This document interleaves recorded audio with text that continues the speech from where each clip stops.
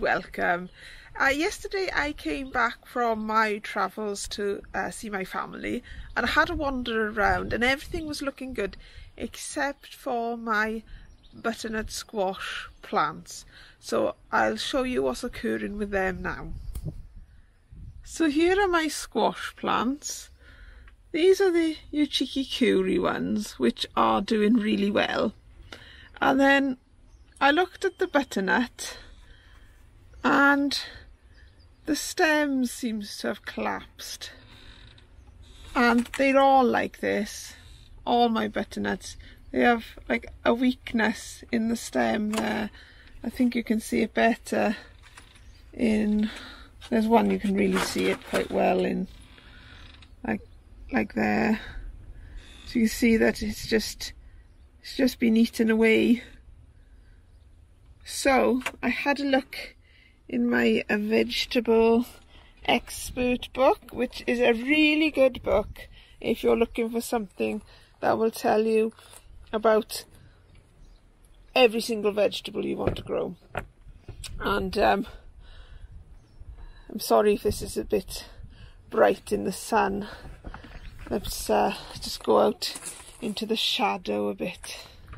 So each page is dedicated to a vegetable, tells you when to grow, when to sow, uh, how to cook it, when's the best time for planting it, and then it has troubles, pests and diseases, and what might go wrong with it. And this looks like the problem that I've got, which is collapsed stems. So it's basal stem rot and basically it's overwatering and keep away uh, from the base of the stem.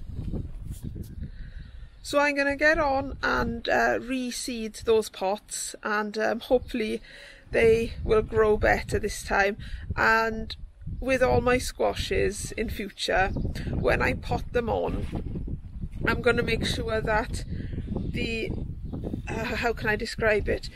The plant is raised slightly higher out of the ground so when I water I water around the edge of the pot and not onto the stem. And if the stem is a little bit raised from like around the edge of the pot then hopefully the stem won't get wet and um, hopefully this won't happen the next time. So I will do that with my cucumbers and squashes um, this season so I've resown the butterbush. Here's the three butterbush. The four uh, butternut hunter variety I've already put in my grow unit. And then this morning I sowed some Kelvedon Wonder peas and then I was a bit short so I've just sown some meteor peas there um, to make up the numbers. And then I've also put some beans and parsnips to chit. So I've got a runner bean in there, Crusader, and those are mixed climbing beans at the bottom. And then I kind of figured that I should be able to tell the difference in the size of the bean as to which bean it is if they get mixed up. But they shouldn't get mixed up unless I drop the whole lot, of course. Then I got parsnips in here, which I can't get the lid off because I've put it down too hard. Um, I've got sweet corn and those are called Cantare. They're dwarf French beans and I plant my dwarf French beans between my sweet corn and they have grown nicely together the last few years. And finally, I've got my borlotti beans in there. So um, hopefully they will grow as well. And what I've done is I've squirted them all with water and then with the lids on, they should uh, start to germinate. There's my parsnips. The reason I chit my uh, parsnips and beans before I put them into their root trainers or pots is very simply that I know then how many to expect, um, how many plants to expect. Um, so I don't waste the root trainers on seeds that are not going to come up because for me, um, I really struggle with space after a certain time um, while I'm waiting for either the weather to be right to plant things out or um, when I'm raising seedlings in my greenhouse I it gets really full really easily. So I just find that if I chit my seeds some of my seeds first then I'm not wasting space um, with one or two empty pots if, if that makes sense. So what I'm going to go and do now is put the netting over that shelf in the big greenhouse so I can move my brassicas out there and they won't get um, butterfly, white cabbage butterflies uh, laying eggs on them.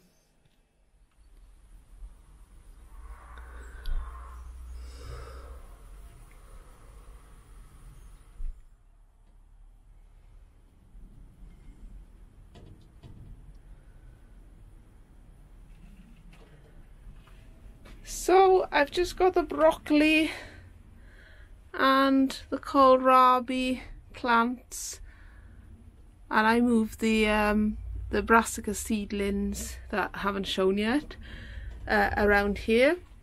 And then there's my peas from this morning and down there are some leeks and the spinach that needs to either go in the compost or the ones that are looking good needs to go out just to show you what it looks like with the uh, curtain down. I've just got these little pegs here at the moment. I could just use um, clothes pegs when I need to use these for tomatoes in the summer but um, that's good. That's good. I don't want to be in this greenhouse anymore. It's really hot. I'm pleased to have got that job done uh, because in the summer my cucumbers will go where that set of shelves are and the set of shelves will just sit outside my greenhouse so I'll live outside for the rest of the summer but hopefully the job I'll have done today means that it can always be used to raise any seedlings and um, just give me a bit of extra growing space for that. So let's go and see what else there is to do.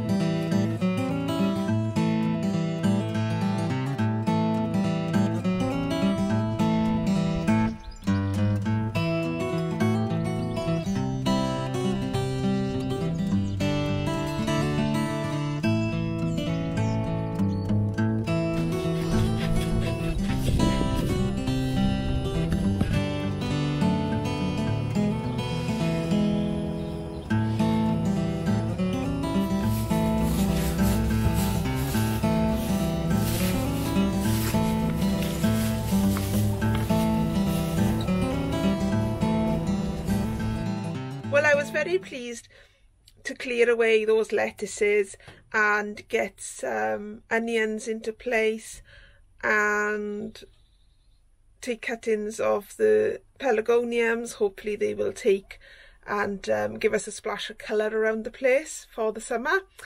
And I'm very pleased to get the lettuces into place. So hopefully uh, I can continue to harvest the, the leftover ones in the greenhouse and then move on to the ones in the front bed garden and then I can use the ones I planted today in that tub to keep us going until I plant out the next lot. So hopefully that will keep us going for the summer to come.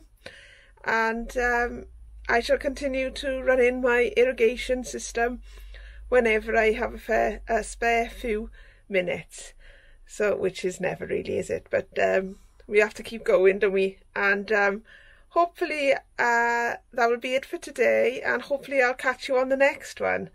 All I can say about my work around the house today is lovely job and take care everybody.